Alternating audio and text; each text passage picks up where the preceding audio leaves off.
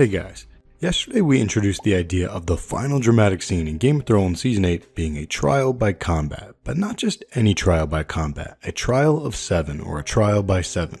Why? Because it's cool as hell. I'm kidding. The reason is because one of Cersei's biggest crimes was against the faith of the Seven. So, what better way for her to face justice than the trial by seven, something that has only been done in Westeros twice? Once with Maegor the Cruel versus the Faith, and once with Brienne of Tarth's ancestor, Sir Duncan the Tall. Link above if you want to check out that video. And real quick, thank you to Katina Meacham and Mary Wells for helping in the campaign to save a child's life. Thanks, guys. Alright, here are most of the characters in Game of Thrones, dead and alive. But we are going to focus on these 21. We need to form two teams. Let's start with Cersei's. She's the hypothetical defendant in this trial by seven. Her team's pretty easy. Cersei doesn't have to fight for herself. Historically, royal women can appoint a champion, or in this case, seven champions. Her first will be the Mountain, of course, and maybe Euron. But Euron's doubtful for several reasons, the big one being Euron probably won't be alive by the time a trial by seven goes down. What is dead may never die.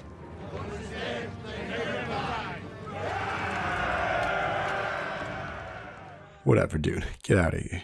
Cersei 7 will probably be the 7 members of her Queensguard, and remember, Jaime is not on her Queensguard. Jaime wasn't even on Tommen's Kingsguard at the end. If you don't recall, Tommen dismissed Jaime after Jaime and Mace Tyrell threatened the High Sparrow to prevent him from forcing Margaery to do a Walk of Atonement, just like Cersei. When you attack the faith, you attack the crown. Anyone who attacks the crown is unfit to serve as Lord Commander of the Kingsguard. So this is Cersei's team. Now let's look at the bad guys. Who will press the charges against our girl Cersei?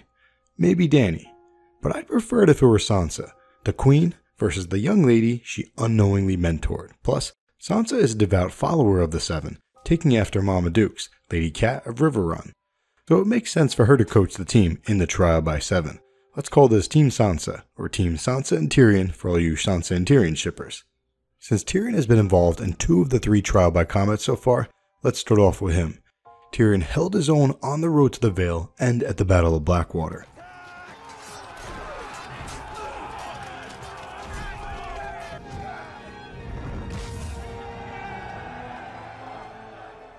And at one point, he thought he'd have to fight the mountain. I suppose have to kill the mountain myself. Won't that make for a great song? I hope to hear them sing it one day.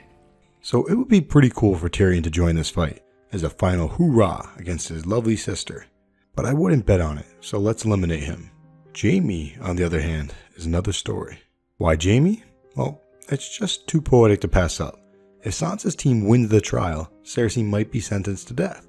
So from a storytelling perspective, Jaime's got to be on the opposing team. We could end this war right now, boy.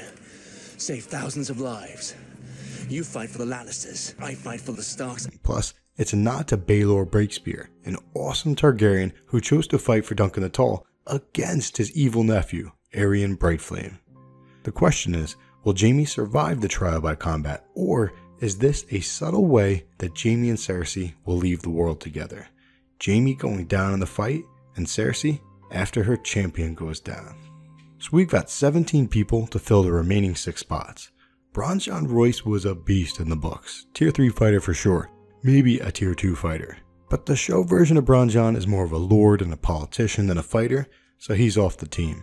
Next, my man, Robett Glover, who has one of the best delivered lines in the entire series. A man can only admit when he was wrong and ask forgiveness. House Glover will stand behind House Stark. And I will stand behind Jon Snow. The king in the north!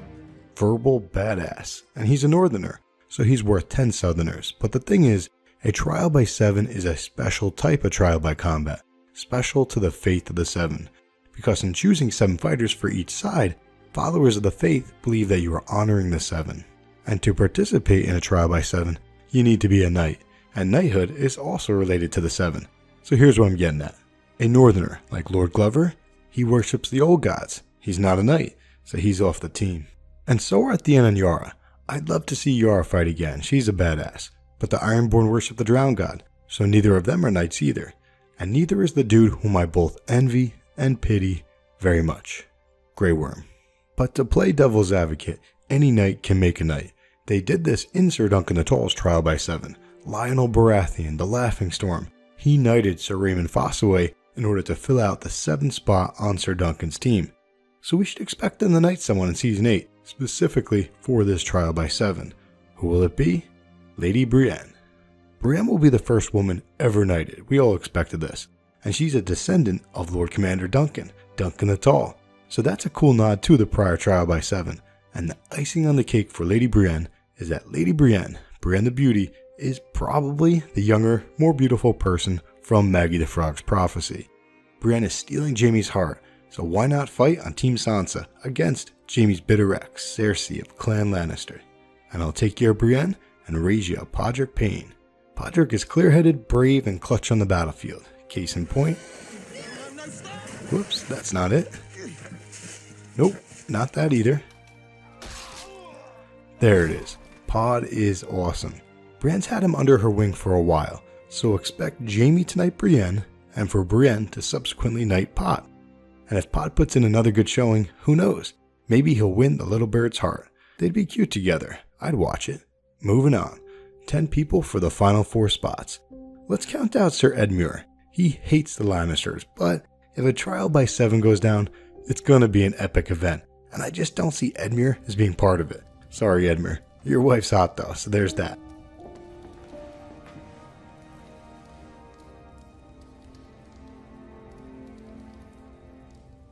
Speaking of wives, Sir Davos is my boy, but I'll be staying behind.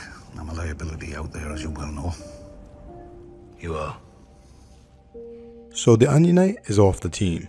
But that's all good, because we want him to survive so that he can go finally reunite with his own wife. And I'm going to count out Jon Snow too. I think Jon will be gone, back to the mud, by the time that the trial by 7 goes down.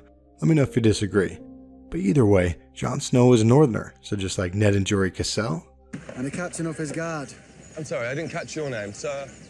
No, sir. I'm not a knight. Jon Snow is not a knight. At least, not in title. He's a true knight, though, if there ever was one. I shouldn't have said that, all you Jon and Sansa shippers. But then we've got someone like Ser Jorah. Notice how I said Ser, Ser Jorah. He's a knight. He's from the north and he worships the old gods, but he was knighted by King Robert for his bravery during the Greyjoy Rebellion. He was second through the breach at Pike, right on the heels of the late Thoros of Myr. Jorah could find a spot on this team, and if a trial by seven goes down at the Dragon Pit, it will be a nod to his time in Meereen as a pit fighter. I brought you a gift. It's true. He has.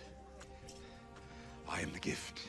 Next up, Sandor Clegane. Count him in. Clegane Bowl, baby.